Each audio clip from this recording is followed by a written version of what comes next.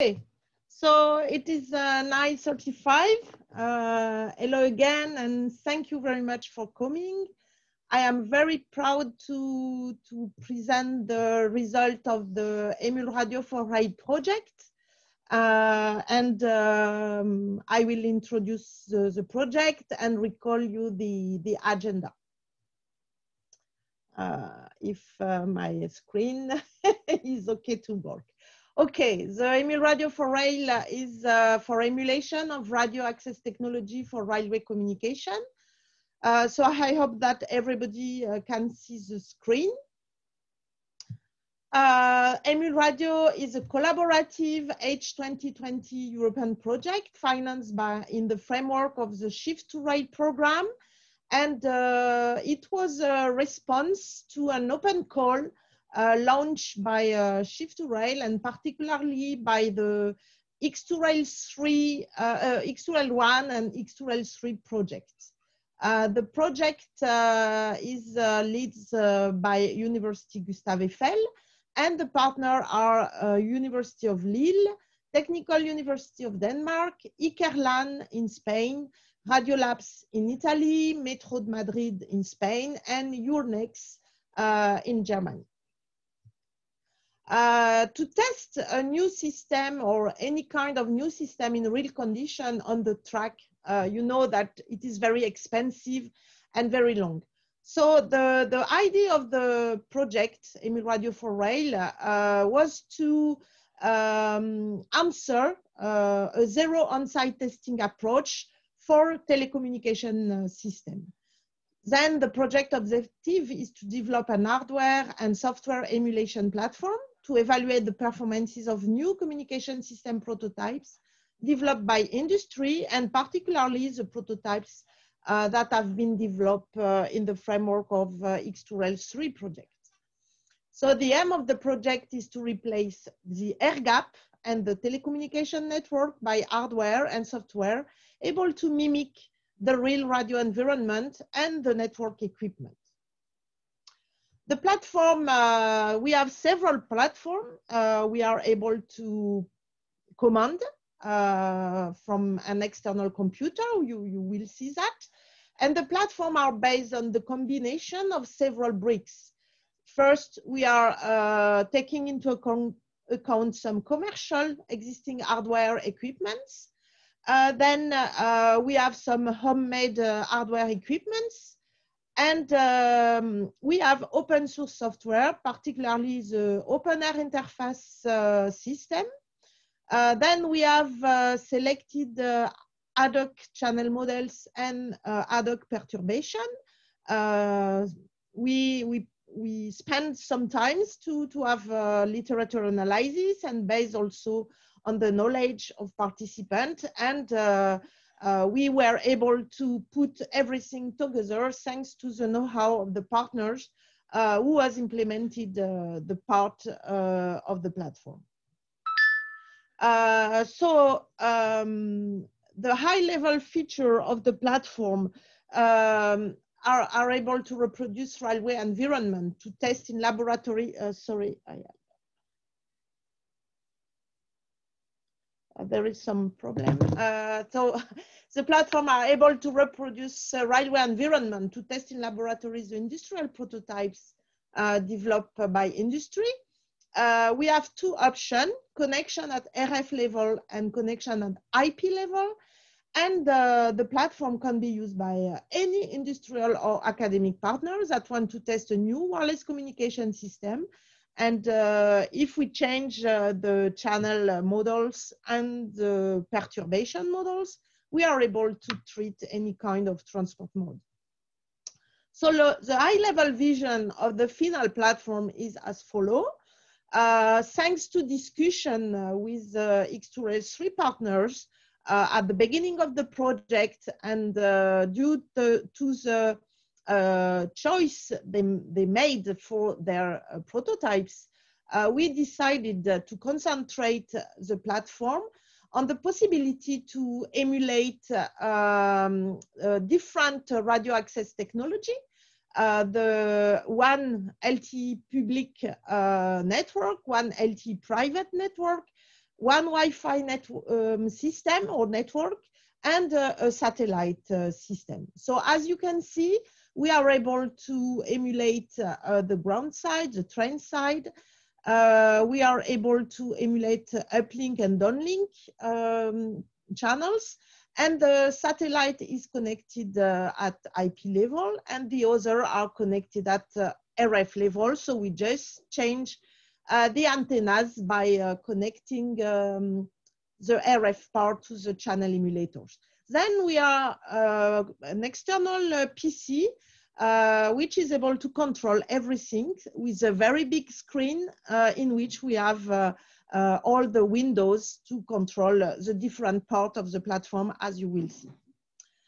so this is a low-level design pro proposal for the platform we have followed during the project and that will be detail, detailed now. So I will, um, I will uh, recall the agenda. Uh, then uh, after my presentation that is now finished, uh, Juan Moreno will present the result of the selection of suitable uh, radio channel models. Uh, then we will have a description of the channel emulators. Then Laurent will present a selection of suitable perturbation models. We will have a coffee break and then we will uh, go inside the presentation of the different platforms, the Wi-Fi one, the LTE, all the all the um, uh, all the uh, different bricks I mentioned. Uh, then uh, we will have a presentation of a different approach based on pure simulation using uh, discrete event simulator. And then we will have the launch and uh, at the at the beginning of the afternoon uh, we will have the presentation of the satellite platform and the successful um, of this uh, integration with um, Hitachi. Uh, then uh, the leader of uh, X2L3 WP3 will will give some words about uh, the collaboration. Then we will conclude and there is a big slot for discussion, question, and so on.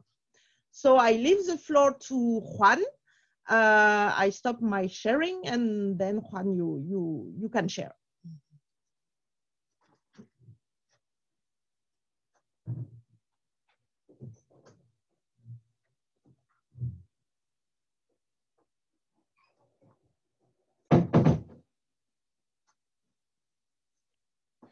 Okay, uh, uh, can you see my screen?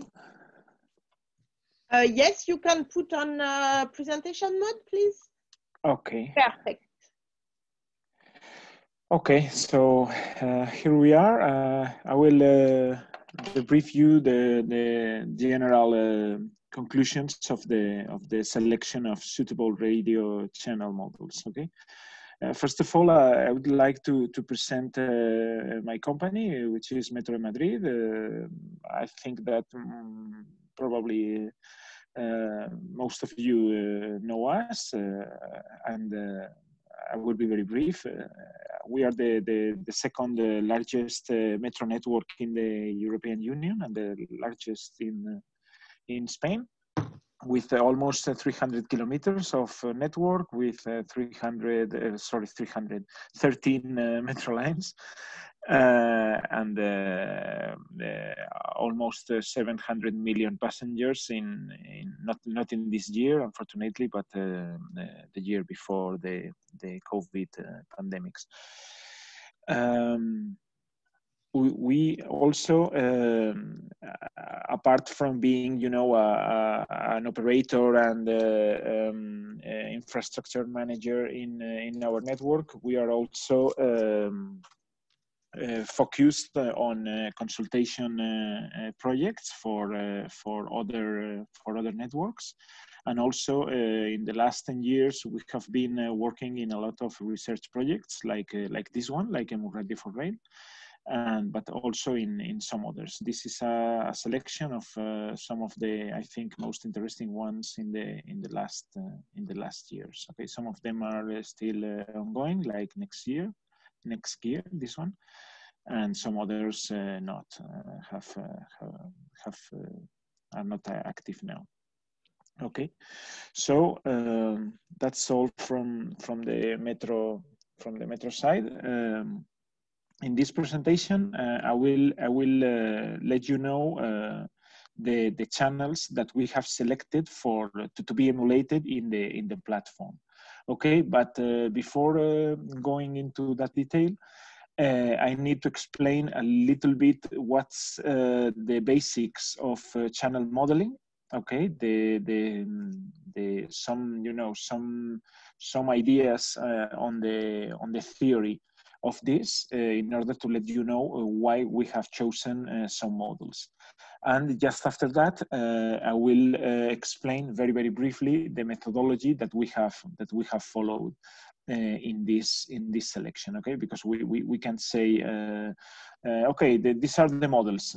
You will probably ask why why not these these others? Or i know this model that works very good in this environment okay? So i will try to to explain these three things okay so um, uh, as you all of you know, uh, railway it's not an unique environment. Okay, uh, it's uh, very diverse. We have um, tunnels like in subways, uh, and also we have uh, rural areas.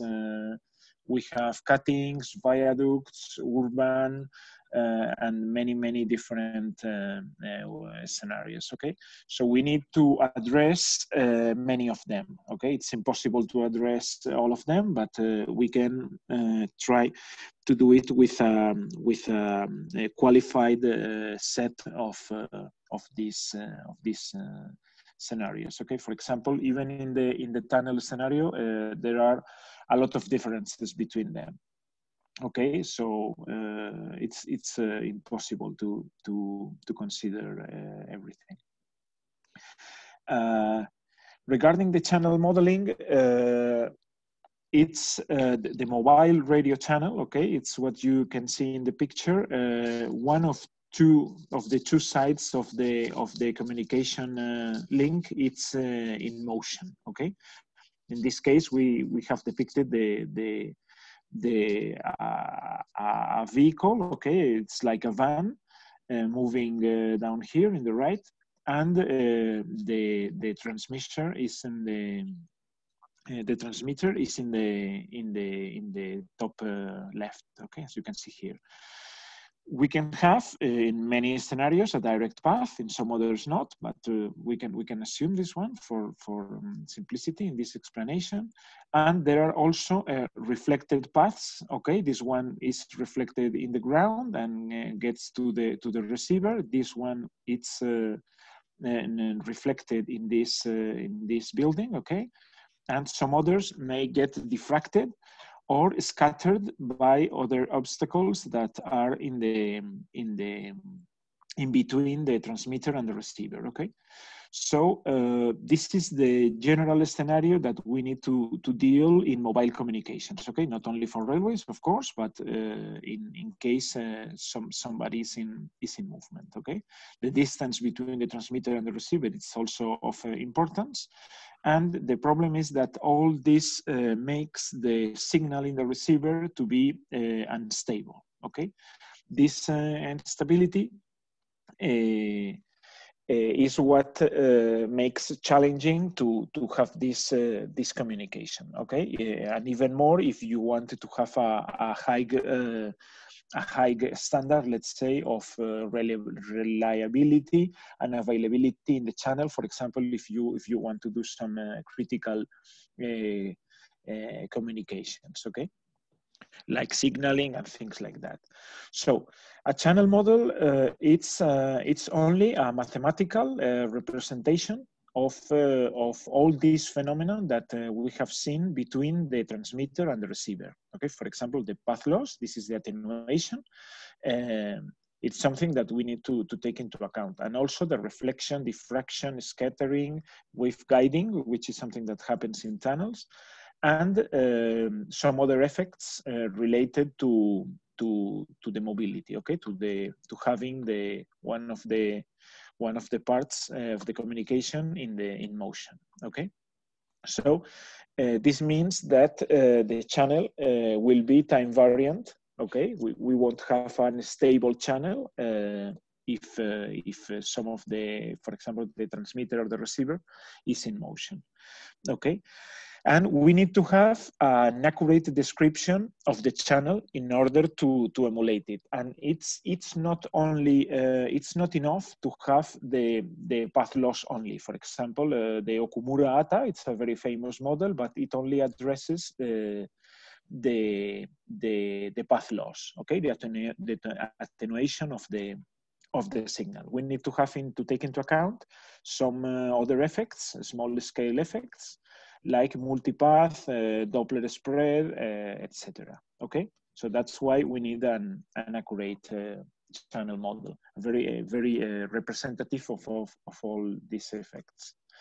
Okay, so I will explain now very briefly um, some uh, basics about uh, these uh, these uh, effects okay? I, I, want i don't uh, want to give you a short course on this okay? So this is a very very deep uh, world as you know. But i will try to explain two or three concepts in order to to to let you understand the the, the, the models that we have chosen okay so the first concept that we need to understand is the multipath. Multipath means uh, it's uh, self-explicative, I think. Um, you you send something and you get multiple copies of this uh, of this uh, something that you have sent. Okay. In the diagram in the left, you can see that uh, the transmitter sends something, and given uh, the complexity of the environment, there are a lot of reflections and you get not only one in the channel impulse response, you don't get one copy.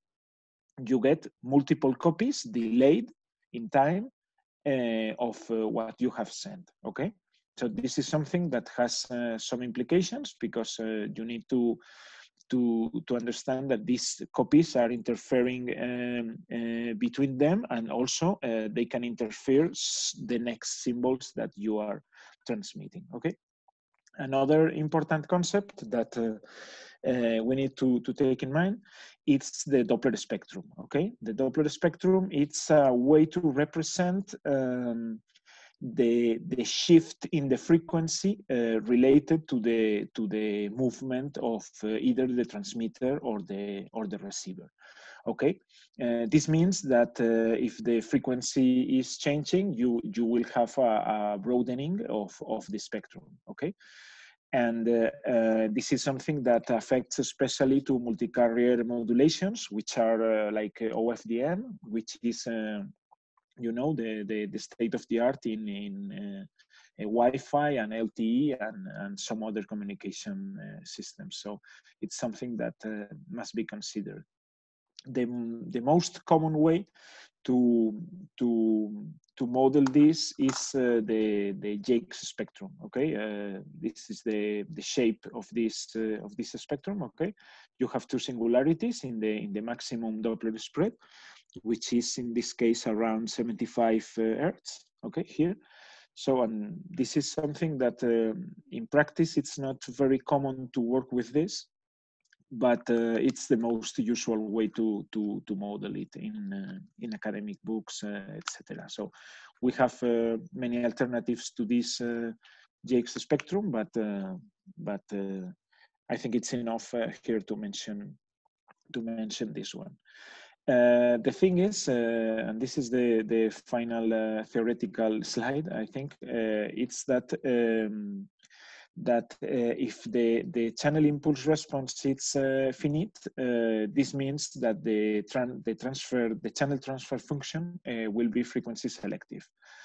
and here you can you can see this. Um, uh, you can see the the, the channel impulse uh, response. Sorry, you, you, can see this here, and this means that in in uh, it's it's selective in in frequency okay? So this is something that uh, it's also uh, remarkable. Uh, the summary of uh, all these uh, theoretical things is that um, we can't assume in vehicular uh, scenarios that the channel is linear time invariant. Okay, so we must assume that it's time variant. Okay, and um, uh, in some cases it is slow. Uh, it's uh, these changes are slow, but in some others not. Okay, so so we we can't have this in mind. In particular, uh, we have decided uh, to, to, to use uh, tapped delay line uh, channel models, okay? Uh, because the, the platforms that uh, we had decided to use in this in this project and that my colleagues will explain later were based in this, okay? And this kind of channel, its channel model, sorry, is is as follows in this expression. It's it's easier to see in the in the picture. Okay, we have uh, several. Um, we, we divide the, the delay domain domain in in several uh, discrete um, uh, slots. Okay, or, or, taps, and all the multipath components that are in this uh, in this delay interval uh, are uh, grouped together. Okay, and represented by this complex coefficient, the, the C uh, coefficient, okay? And therefore you can model the channel as a, um, as a sum of taps delayed uh, by a discrete uh, uh, time, okay? So you will have several multipath components here, some others here, some others here, and you can model separately each tap, okay? So this is something that it's very, very good for, for emulation and, and very robust. And uh, as we will see uh, now, uh, very, very, it's very popular in, the, in the scientific literature, okay? The methodology that we have followed uh, to to select the channels it's uh, first of all uh, we, we looked the, the, in the in the literature and the scientific literature for for the channels like this and we found uh, that we have in some cases we had uh, we have more than one so we decided to go to the to the channel that uh, to the channel model that uh, it's um, let's say more uh, contained more information okay? Because some some of the models uh, lacked from uh, from from important information like the doppler spectrum or things like that. We also wanted these channel models to be in the frequencies of interest for our systems. So if we wanted to work with lte and wi-fi we we try to to to use models uh, close to the frequencies of interest okay and uh, finally, we tried as well to, to use uh, models that could be trusted. Okay, if you read the paper and you see, okay, this is a nonsense, uh, you, you discard this, this model. Okay, fortunately, this was not the, the case, but uh, we, we also uh, pay attention to this. Okay, so our idea was to have uh, channel models with all this information. Okay, the number of taps, of course, this is very relevant. The delay associated to each tap of the TDL model, uh, the relative uh, power. These these three are the the basic information. Okay, you don't have a TDL model if you don't have these three ones, and also the speed, the speed of the train. It's very very important. Uh, the Doppler spectrum, which is um, infrequent to see in some in models, the frequency range, okay, where the measurements were taken and so on, the bandwidth for the measurements, which impacts in the resolution for the for the for the model, okay, the resolution of the multipath that you can that you can see and group into one tap, and also the the diversity, if it's a MIMO system or uh, or not, okay. So these are the the basic parameters. And here, um, okay, uh, the, there are, I will, I will debrief uh, in uh, six or seven minutes uh, the, the channels that we, that we have uh, selected. You have all the details in our deliverable. Uh, we have divided the railway world, let's say, in five in five scenarios. The first one is the Healy scenario, okay, and we have identified this this model you can see that uh, divides the, the the scenario into regions okay with uh, with some delays and the, its associated relative power, and more importantly, it contains the the Doppler the Doppler shift. Okay, it's uh, the frequency is suitable for our emulation, and the speed it's uh, it's uh, good for uh, high speed lines. Okay, this is another one for a Healy scenario. Okay, uh, with a shorter uh, bandwidth and a different uh, frequency. So this one is more suitable for, for LTE, for example. Okay, so this is the Healy, the rural scenario, uh, which is you know very common in uh, in high speed lines and regional trains and things like that. We found uh, this this TDL channel model, which is, as you can see, very, very simple, only three, three taps. The speed is not mm, the, the maximum one for high speed. The bandwidth is a little bit short, but it's, uh, it's a, a, good channel model and coherent what, uh, what we, we know about this. This is another, another channel model of the ITU, uh, which, as you can see, uh, you have uh, many more um, uh, taps and also information about the angles uh, which uh, our platforms do not consider. Okay, the speed is 350 and the bandwidth it's uh, it's really high and that's why this channel has uh, a lot of resolution in in terms of uh, the multipath components in in some that we that we can see in in the taps okay uh, this is another another one. You you have all the all the references here. If in case you have uh, more details, okay. This is the this is the very famous winner two uh, channel models. One of the scenarios uh, uh, that is considered here is suitable for for rural areas. Okay, in high speed. Uh, the thing is that uh, here the, the best one we, we have three um, and uh, we we decided to to go uh, to the to the winner two because uh, it's a, a, remarkable effort in terms of channel modeling taking into account a lot of a lot of um, scenarios and the frequency range is really high. The bandwidth is also really high but uh, even this model, it's not perfect because there is no uh, Doppler um, spectrum description. Uh, the frequency range comes from two to six uh, gigahertz. So we are missing, for example, the the the, the frequencies, uh, the GSMR frequencies, for example, which are not of interest in this project, but we wanted also to work below two gigahertz. Okay, uh, so this means that uh, even the most accurate and famous and uh, relevant channel models are not are not perfect. Uh, okay, this is this is another one. Okay, uh, that takes takes into account lower frequencies, and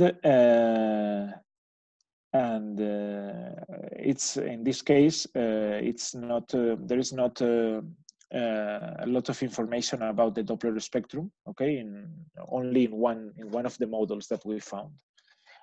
Okay, and the problem is that we can't have a mix uh, taking uh, some parts from one model to the other, so that's that's impossible. So we need to to choose the the best one uh, uh, entirely. Okay, another relevant scenario is the cutting uh, the cutting scenario. we found some channel models, especially in in China, and uh, you can see here the details. Uh, it contains uh, information about the Doppler spectrum. The speed is not very high. The frequency is suitable for, for, for example, for Wi-Fi, uh, and uh, it has four taps, Okay. This is a different one, seven taps, higher bandwidth, not very high speed, and uh, very very similar uh, center frequency and it has uh, as well a Doppler spectrum uh, information about the Doppler spectrum okay? So here we we took the decision based on the frequency range and the complexity of the model. Of course it's easier to work with a four taps model than working with a seven taps model.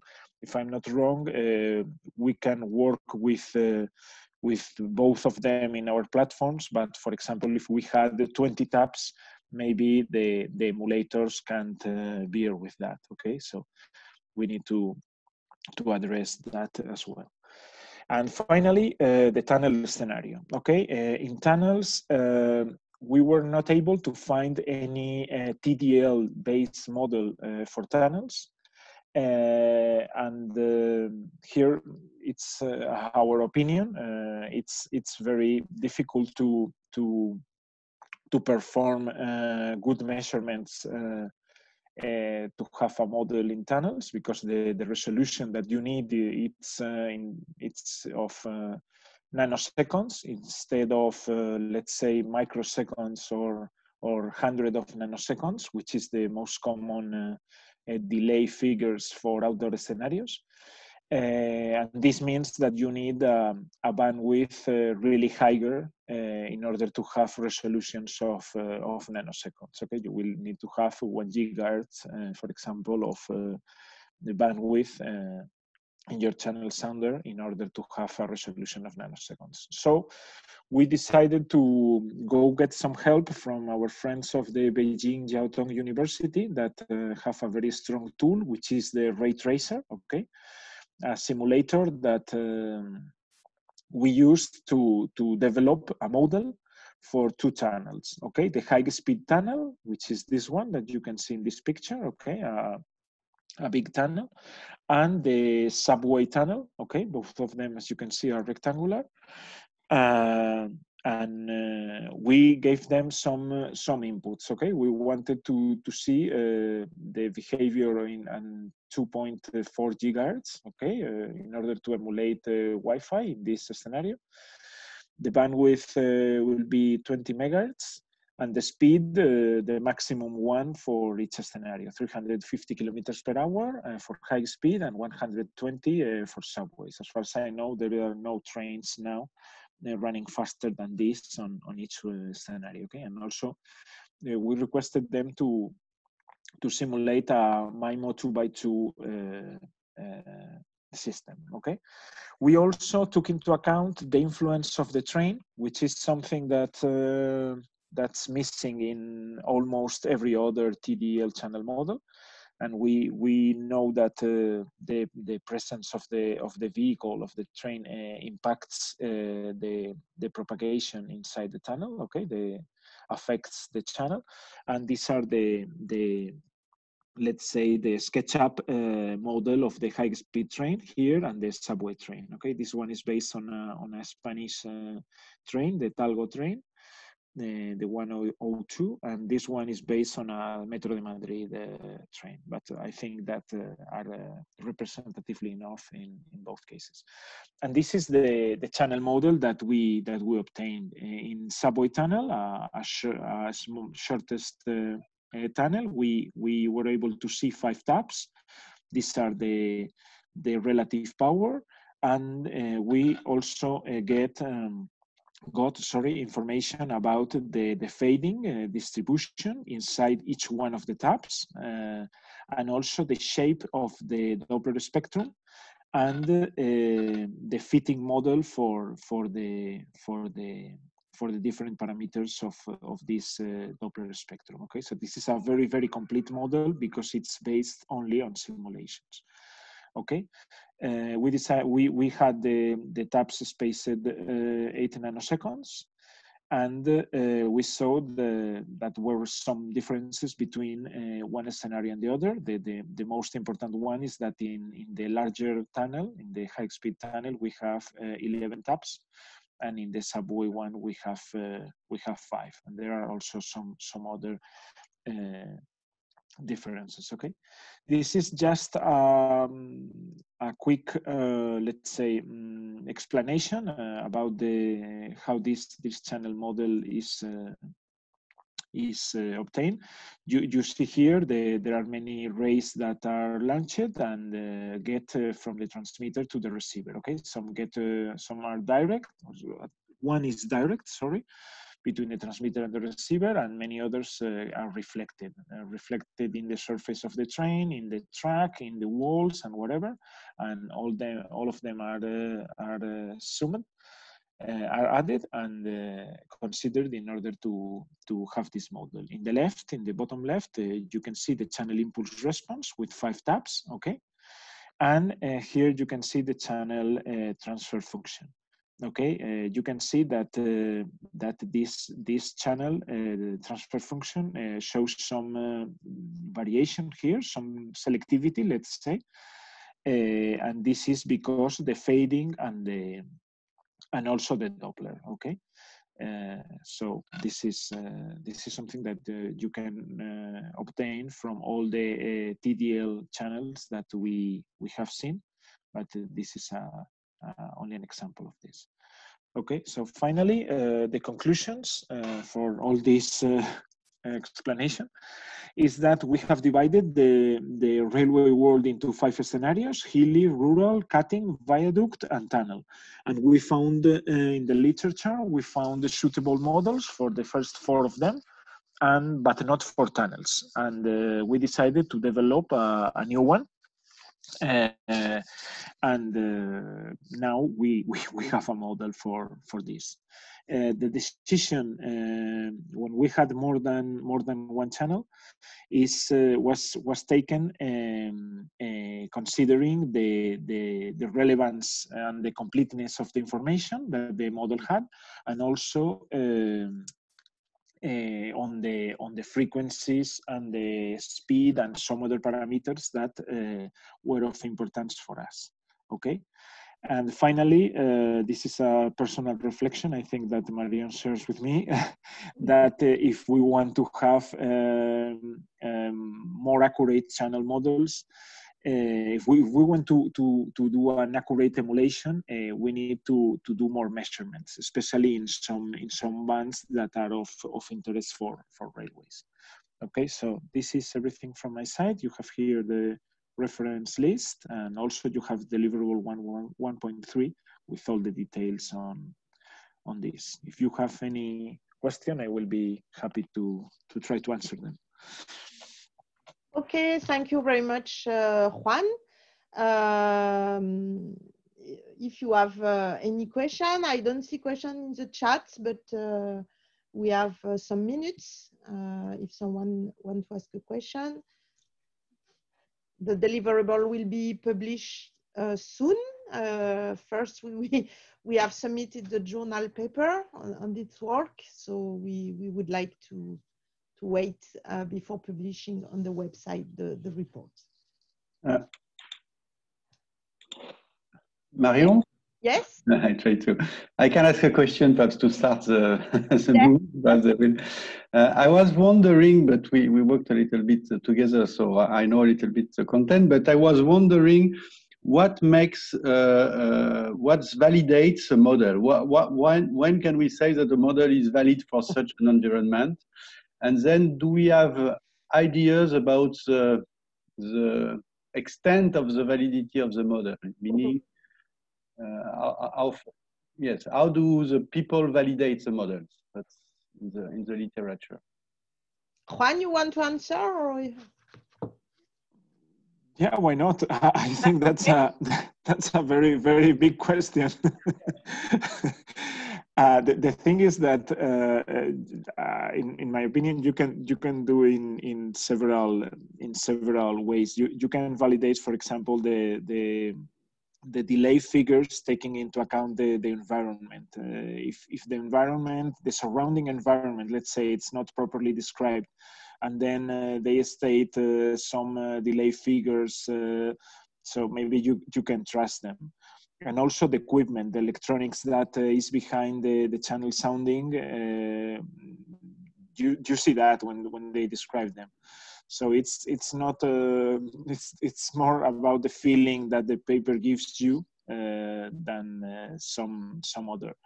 Uh, if you see in some cases uh, many cases uh, they are focused in 900 megahertz band and also in 2.4 so even maybe you can compare some papers with with the other papers in that band so it's from a from a, general point of view, to answer your question, uh, I think the statistical modeling is uh, when, when you, you, you have the model, you compare with the measurement generally, uh, with the distribution you have and so on. Uh, but I uh, do not know any papers uh, that uh, can confirm exactly that the model, it, just the classical statistical approach. So we hope to have enough um, samples to be able to statistically mod model the system. And then uh, sometimes, uh, yes, uh, I, I, think there, there are some uh, incertitudes that could be small or big. And the interest also of Emulradio4Rail platform uh, could be uh, one day to compare um, real behavior of a system with the behavior in, the give, in a given environment. Uh, I hope we answer your question. yeah, so Marion, there are some questions in the chat also. Uh, yes, so I can see that there is a, question about a special scenario like a moving object uh, in shunting areas and as a reflector. Um, we, we didn't find uh, this type of scenario uh, in the literature. Uh, it is why uh, we think that uh, this question of channel modeling and measurement on the track at radio level are often considered by railway operator as uh, useless and, and, unfortunately and due to the fact for example that FRMCS frequency has just been um, fixed now it could be really really important to, to have this kind of project to, to be able to, if we want to go to, to zero on-site testing, uh, we need first uh, to have uh, the models uh, to, to, to do this. Uh, another question is about uh, the plausible handover time in a moving vehicle scenario. The, this, um, this was not um, investigated in the channel models vision, uh, you can have some result on the presentation uh, Mohamed Kassab uh, will, uh, will give. And it's uh, quite difficult to, to do this. And we hope we, we had not the possibility to measure this with the platform uh, uh, at the end uh, of, the, of the project. But normally we, we could, we could do this with a specific scenario we have not implemented yet. there is how can we take into account the track layout, uh, like curves and track uh, profiles? Uh, it is, uh, the track layout is more or less uh, taken into account in the, in the channel models. It is why we, we, we found in the literature uh, various, um, we separated in areas like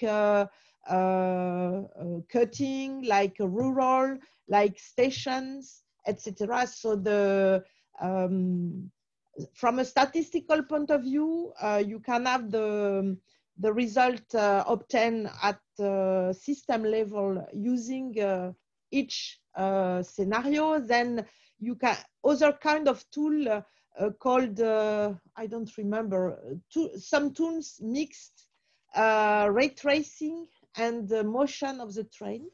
Uh, but it, it's very complicated uh, because for each position of the train, uh, you need to, uh, to have a statistical representation of the channel. So this means that artificially, you need to set up a lot of, a lot of uh, channel representation.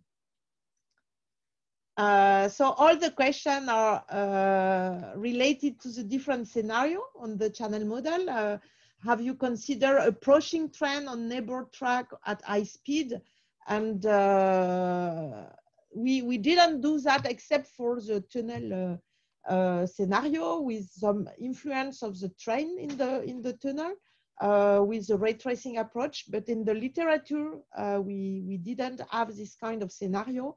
And uh, we hope, we wish that uh, some one day some uh, railway operator will be okay to launch this kind of project and with trials, and we are ready to contribute. I think now we have to switch to the other presentation, to the presentation of uh, Raul and myself. I hope uh, I uh, answer a part of the question.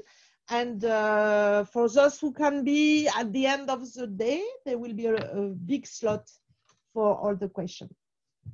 So thank you very much, uh, Juan, uh, for being the first the first speaker of the of the day.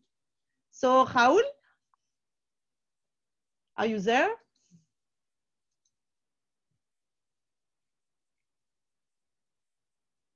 Oh. Hello, morning. Yeah, you can share your screen normally. Uh, okay. Everybody. Yes. Uh, yeah, yes. I, I give uh, permission to everyone.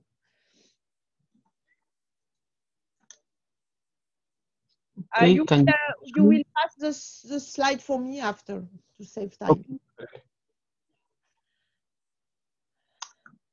So, uh, good morning, everyone. Uh, I will make now a short presentation about the RF channel, uh, channel emulators that we have used to uh, actually implement the channel models or some of the channel models that Juan has just explained.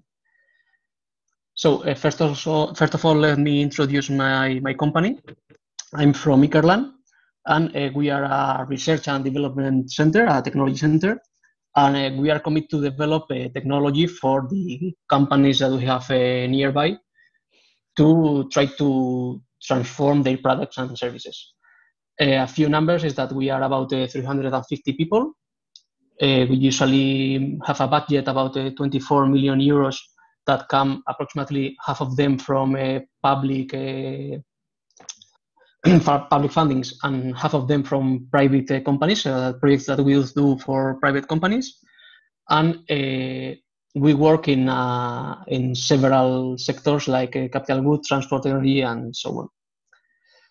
So uh, where we are or we, where we intend to, to be is, let's say, between the university and the companies. The university have a very academic profile, let's say. Uh, industries uh, have a very product-oriented target. so we are in the middle with a very technological specialization, and we aim to transfer our knowledge into the companies. And uh, okay, we work in in three main areas of focus expertise. We have uh, the electronics, information, and communication technologies area, the energy and power electronics area, and uh, advanced manufacturing areas. Myself and the knowledge we have applied for this project, for this project, this emulated project, it's the hardware and communication systems uh, where I, I belong. So, just after this introduction from myself, okay, uh, what are the RF channel emulators in, in Emulator for Rails?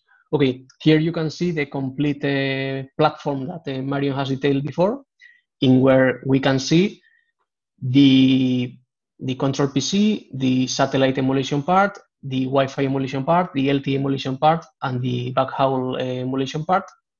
So into the platform, uh, the, the, the users usually enter into IP frames and get out from IP frames, but uh, in even if the input and output are IP, IP frames, in the middle, at least for the terrestrial bearers, what we do is uh, pass them into RF, either with an LTE dongle or a Wi-Fi dongle or the, their counterparts, the Wi-Fi access point and the GNB. So uh, what we finally do is a real RF emulation of the channel models that uh, Juan has presented. And for that, we have here the RF channel emulator, one here and one here. So uh, what are uh, RF channel emulators for? Okay, they are in charge of modifying in real time the RF signals according to the selected channel models. And uh, they aim to get uh, repetitive results so that uh, we can test things properly uh, in a laboratory lab environment. So for this project, we have two implementations of channel emulators one uh, based in instrumentation that has been uh, mainly used for LT, and another custom built channel emulator that has been developed for this for this project. So uh, now Marion and I, we, we will both detail these two, two emulators. Okay, uh, this is the one for uh, the instrumentation one and the one for uh, the custom build. So regarding the custom built uh, channel emulator, it has been uh, built by Ikerlan for this project. And as I have said, it, it aims for to offer repeatable emulations of error channel conditions. It's based on a tap delay lane, uh, as all the models that has been selected were of this type. And uh, the implementation is made into three parts, let's say. The baseband processing, this is the implementation of the tap delay lines are is made in, inside a single scale uh, FPGA or system on chip. Uh, the the tap delay lines themselves are implemented into in VHDL into the FPGA part, and the control of the of the vanishing of all the parameters it's done into the ARM uh, cores that uh, run inside the, the, this device. Besides this, we also run in one of in one of the other coders a Linux system uh, that controls the screen and so on for the user control. And uh, surrounding all, all this, uh, what we have is uh, analog RF frontends, also custom built with discrete devices that allows us to, to control the, the RF band, the, the path loss, and so on. So, uh, which are the key features of this uh, emulator? Okay, uh, it has four bidirectional RF ports, so we are able to, we could emulate up to a two by two MIMO system. Uh, we are able to work from 400 megahertz to 600 so to 6 gigahertz uh, bands uh, with a 10 megahertz uh, signal bandwidth, and we are able to uh, implement up to 10 taps uh, per channel. And the, the emulator supports the typical emulator, uh, the typical uh, uh, characteristics of the channel models, like small scale uh, multipath fading, the Doppler fading, path loss, shadowing, and, and so on. And this is a little bit the, the block diagram. We have in this standard path the RF to IF conversion states that it's done in, in the analog domain. Then we enter the FPGA with an analog to, to digital converter or to digital to analog converter. And inside the FPGA, we have the, the tap delay lines. And as I have said, we have a Linux size system there, uh, which uh, offers a, a control GUI implemented with Qt, in which we can control the RF ports, the Doppler frequencies, the, the, each of the lines would be the each of the taps of the model. We control also the input power, output power, and, and so on. So Marion, now if you want. Yes, so um, due to the fact that uh, unfortunately your uh, emulator uh, has not enough uh, input and output, uh, we have uh, we had the great chance and to to discuss with Keysight, and they um, they accept to to to give us their nice PropSim real-time radio channel emulator during several months. So uh, it's uh, really uh, a big, big thanks to them because they, they allow us to connect uh, uh, all the platform because uh, even if the LTE part wa was on were on CISO, if you remember, we need we need to connect together one public LTE, one um, private LTE, and the Wi-Fi. Uh, so in total, uh, we need uh, five uh, input and uh, five output. Uh, so the PropSim, I will not enter too much in the detail. It, um, it's a very nice equipment, also very complex. The choice we made before about tap delay line model was mainly driven driven by the the um, we, we would like to have something simple, simple first for this project because uh, the main work was on the development of the platform, not, not uh, on the implementation of the channel. Uh, so we, we decided to, to, to be on tap line model, but the PropSim allows uh, to, to use a geometrical uh, channel model. next slide. Uh, so you, you can see here uh, the PropSim uh, uh equipment uh, at IRCICA where all the platform have been integrated. you can see that it is quite easy to, to, to um, introduce the channel. We, we, there is a graphical unit interface like the, the Ikerlan channel and we have to take into account the, some um, delay, uh, fixed delay introduced by the, by the emulator, uh, but uh, it's the principle of channel emulator. You have uh, some delay on the electronic and uh, also some, uh, some power, but we, we manage to, to, to do this. So this is an example with uh, one uplink and downlink uh, system, and uh, you you can see on the on the other screen screen all the platform connected with the five five channel. Next, please. I think it's the last one. Yes. uh, just uh, here an image of uh, of a six six taps channel models, and we can change the speed. We can affect different fading uh, to each taps. And uh, if we can change the speed, we can choose the Doppler spectrum. And as uh, Juan presented before, we mainly uh, have chosen uh, the classical uh, Doppler spectrum like Jakes, but this can be changed. the, the aim of the project was not was to test or to have a proof of concept to do this with the platform, not to, to work. And we hope uh, to have the opportunity one day to, to have uh, uh, to buy this equipment in the future between different labs. I think it's the last one, so thank you. We are a bit um, short on time, so I want to thank again uh, Keysight uh, because the, the last part of the project uh, uh, has been uh, facilitated uh, thanks to them. Also because due to the COVID, it was very complex because everything was blocked. And thanks to them, we had the equipment in uh, at the end of July, if I remember correctly, and uh, we, we, we, were able to do everything uh, thanks to the fact that the partner have sent all the platform to, to Lille. Uh, so the next uh, presentation is uh, uh by uh, Laurent Clavier from University of Lille about the perturbation we have considered a kind of literature review and also solution to implement.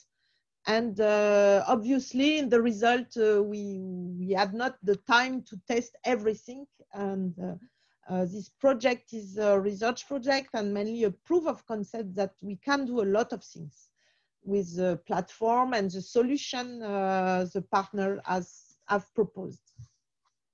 So Laurent. Uh, okay. Do you see my screen and do you hear me? Uh, perfect, sorry. Okay, so uh, I'll start. Uh, so, so one one next step in the in the um, emulation of a, of a communication link in railway communication was to look a little bit at the interference we can uh, have around the system. So this is uh, the goal of this first uh, discussion.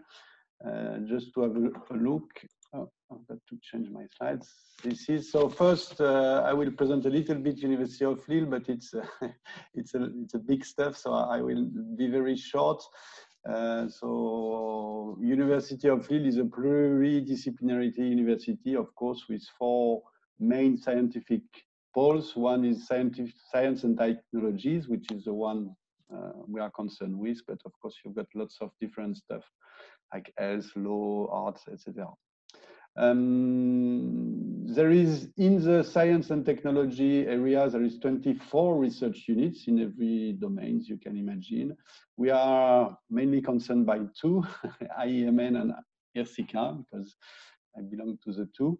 Uh, so just to be a little bit more detailed, IEMN is an electronic, microelectronic and nanotechnology institute that go from really making the components and the nanostructures to the systems themselves and especially in telecommunications. This is one area, but you've got other specialization area.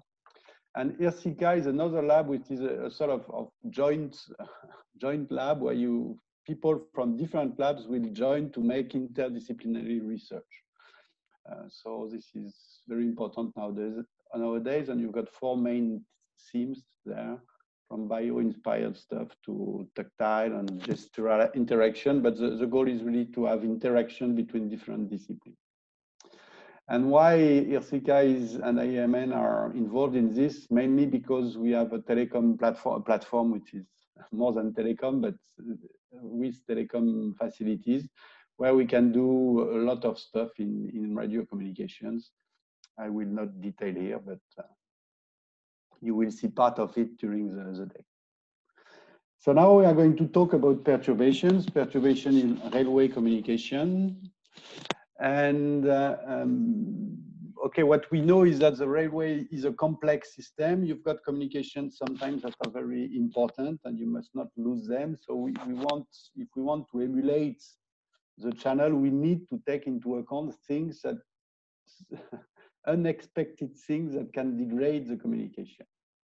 So the first step for us is to investigate what type of perturbations uh, we can encounter in a, railway communication and uh, how we can include them into the emulation tool.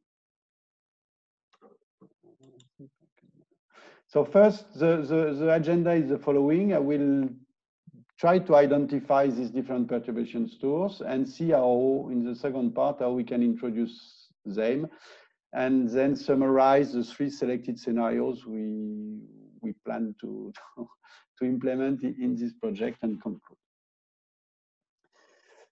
Uh, so when I started reading about the special environment in, in railway communication, so I found four types, four, four origin, physical origin of, of perturbation.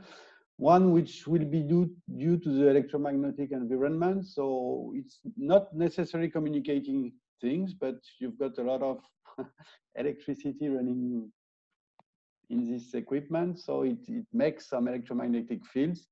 And okay, the question is, do we need to take them into account? Uh, you, of course, you have some network interference. So this was, this is quite true with, with uh, cellular networks because more and more you've got this uh, intercell interference that, that you should take into account. Uh, but it's also very true for Wi-Fi communication, uh, especially because they are working on a on an unlicensed band, and then you can have different Wi-Fi access points, for instance, active, but also different other equipment in the same band, and it's perhaps important to take them into account. You also have, which is very typical from the railway environment, so perhaps people in, in, in here knows more about this than me, but you have natural electromagnetic interference sources, uh, like for instance, um, the contact between the pantograph and the catenary, which can send some really strong signals, very short but strong signals. And a fourth aspect that we should probably consider is illegal jamming because it's, it's becoming a big issue. Uh, you've got telecommunication jammers and probably you need to, to be aware of this and to try to find solutions to, to fight against this. Um, so getting a little bit more into the detail, we try to identify the, the, the really the, the noises sources that are relevant for us. Uh, so for instance, all these um, electromagnetic sources that you can find in, in, in, the railway environment inside the machines or not, um, we don't really feel they are relevant because what the what the frequencies they are emitting is is very different from the communications we are considering, and if there is a little bit of uh, overlaps, and probably it can be included in the ambient Gaussian noise because it's it's quite low and it's not very significant. Much more significant, we think, is I already give a word about that, is the coexisting networks and the co-channel interference. So of course, this is very important. I personally didn't find much work related to this in the specific case of railway and the railway is very specific due to its high mobility and this, this probably can impact a lot the models we, we should have behind this, this type of interference. Uh, but of course, we, we, we, if we can identify a little bit more the context and the, the, the environment where the train is going to be, uh, then we could have models that, that take this interference into account. Uh, so just to detail a little bit this type of interference for those who do not look at that very often.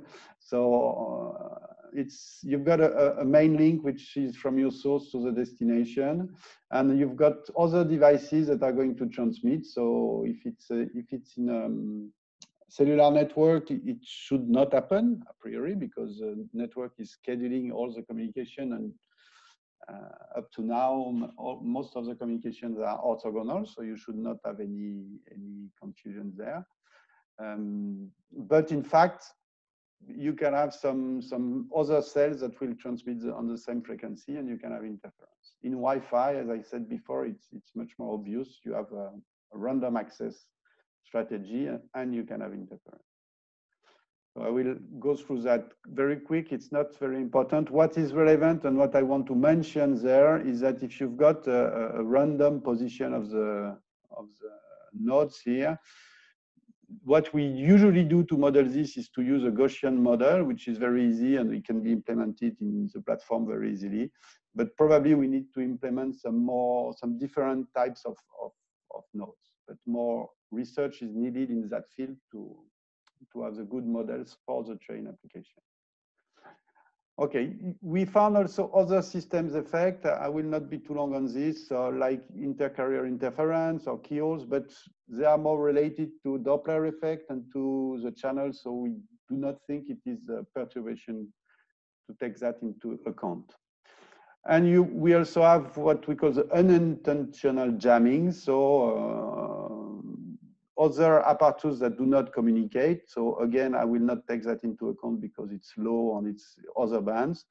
You've got natural electromagnetic interference source, and I think this is very important, and the pantograph to catenary contact is, is to be taken into account. So in the end, what we decided to, to keep in mind is these three types of interference. So network interference, which should play a big role, especially I think in Wi-Fi when the train is approaching the stations. We want to take the contact between the pantograph and the catenary. This is the second step. And we want to have the possibility to include illegal jamming to have a, an efficient model. Um, so how do we do that in the in the system? So it's it's in the end it's quite easy if we want because it's additive noise. So interference is an addition of something. So an addition is quite easy to make. However, there are several ways to do it. So if I just really from from a large view summarize the channel emulation, you've got a signal generator, which is your source. You've got the channel emulator, which is what uh, Raul presented before, and you've got the receiver. So where do we introduce the, the interference? We identify, in fact, two types of interference to give a, a short summary. One which will be communication signals that will also go through a channel. So probably we need to introduce them into the channel emulator also with an independent channel sometimes, but uh, this is important. And the type two, which are signals that will directly impact the receiver. Especially you can see that for the um, uh, contact between uh, catenary and pantograph. This is a good example. We've got a, a special case there when we, if, if we have to consider massive type communications in a station or something like that, if it's important, then in that case, we will not be able to emulate uh, the true signal that will cross the channel, but we have to emulate the result of many interference. So the way to do it is we can introduce this signal either at the input of the channel emulator in point A there, or at the input of the receiver in point B there. So this will depend on the scenario, on the possibilities of the system. Okay, and the three, I think I should not stay too long. So I don't know how much time I have left, but um, so you have to be quick. yeah, I, I, guess that. But, so uh, the, the, first the first scenario is we introduce the signal at the input of so this could be a concurrent transmission if you want. So we've got a signal generator and both are crossing the channel. So the channel could be the channels could be independent. They could be different. They could have stati different statistical properties. If, the, for instance, if the interferer is on the side of the receiver and not on the side of the source, then of course the, the statistical property of this channel has to be different.